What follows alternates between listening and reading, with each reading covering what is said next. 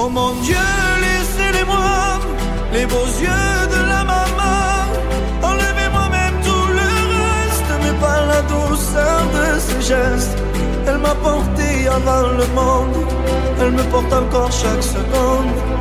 Elle m'emportera avec elle, je lui serai toujours fidèle.